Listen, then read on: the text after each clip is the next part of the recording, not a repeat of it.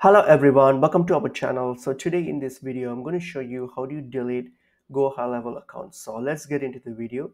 So if you want to delete your uh, GoHighLevel account, so what are you going to do? Simply go to Google and then search for delete GoHighLevel account. So just type in delete GoHighLevel account. So once I've typed in, you will straight away scroll and get to this uh, this uh, this uh, page here. Select to cancel your subscription. Just click on that because this will straight away get you to the cancellation page instead of like logging in and then going through your uh, accounts and all through that uh, longer step. So this is quite easy. So just search in uh, delete account and then you will you'll get to this uh, um, this page here so open it up and then what you're going to do just click on select to cancel.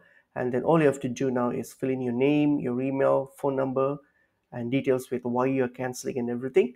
And then once you're done click on confirm cancellation. So this will initiate a cancellation request. So once you've made the cancellation request then what happens is a team member from GoHighLevel will get in touch with you to confirm your cancellation. So then once it's done then that's it.